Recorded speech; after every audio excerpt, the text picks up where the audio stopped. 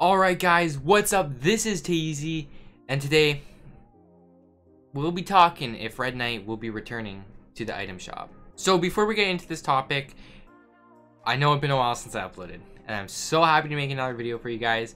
It's finally summer for me, so I don't have to worry about school or anything like that, so I could start grinding, uploading a lot more. I was watching a lot of my past videos, and I just really miss uploading. It was such a good time.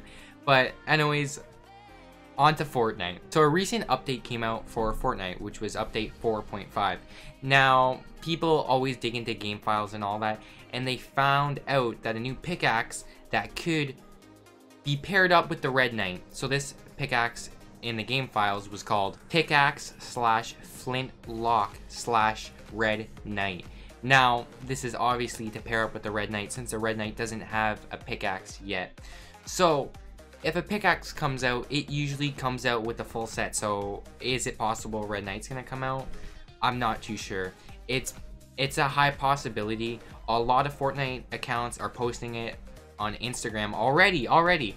And usually when they post that kind of stuff, it comes out. I'll put a couple pictures up on the screen right now by Fortnite community. So I'm gonna put up what this pickaxe looks like. It's a pretty, it's it's an alright pickaxe. We'll put it up. But it definitely will go with the Red Knight. Now, is Red Knight coming out? I'm not going to say yes or no. If it does, it's going to be a real bummer for the people that have it. Because it is, it's not the rarest skin, but it is a rare skin. It's really up there. Um, personally, as an owner of Red Knight, I'm not, I'm not trying to brag or anything that I have Red Knight because I'm not trying to be cool because I have like no skins. I have a couple good skins here and there, but Red Knight it is a good skin. I love it. It's one of my favorite skins. And it would make sense if they released it. Because you know how much money they'd be making? Let's put, say, how many people play Fortnite? Probably like 10 million little kids. Um, I'm sorry, I shouldn't have said that. Okay, okay, okay. Anyways, if they release that skin, it's a $20 skin. It's legendary. So that means it's 2,000 V-Bucks, which is relevant to like 20 bucks. Say if a million people buy that, 20 times 1 is $20 million. Fortnite will be making $20 million if they release Red Knight. But then comes the people who have it is to get so upset about it.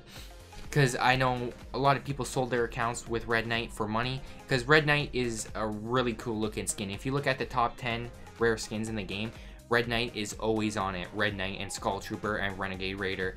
And all those types of skins are on it. But Red Knight is one of the more I wouldn't say least rare, but it's not as rare as Skull Trooper since it came out when Fortnite was growing, and I'm pretty sure it was February when it came out, mid-February when it came out, so that wasn't too long ago, but it was still a while ago where no one really, not a lot of people have it. So now I'm gonna post some screenshots I found on Instagram, which were people were so, so upset about if this is gonna come back. Just the possibility of coming back is horrible. No one wants it to come back.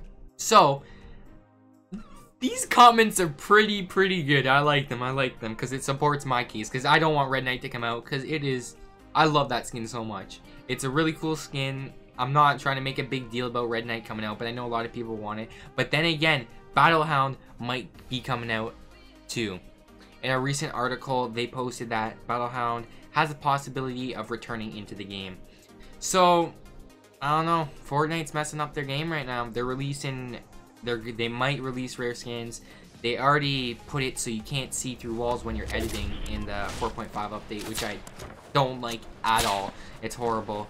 It's a bloom system game. It's the mats. You the only skill is building in this game. Like if there's a noob and you, if he had, if he since it's RNG bloom, the noob has a chance of killing you.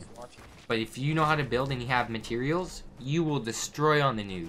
But now they reduce llama to 250 instead of 500. They're just doing stuff that I don't like. A lot of pro streamers don't like. Ninja said he doesn't like it. Myth said he doesn't like. There's a whole bunch. You can search it all up. People are getting upset about it.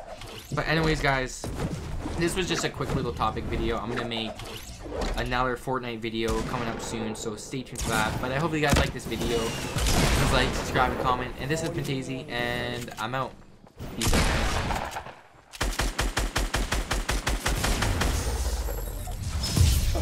Yo. Yo. He almost killed him. He almost killed him.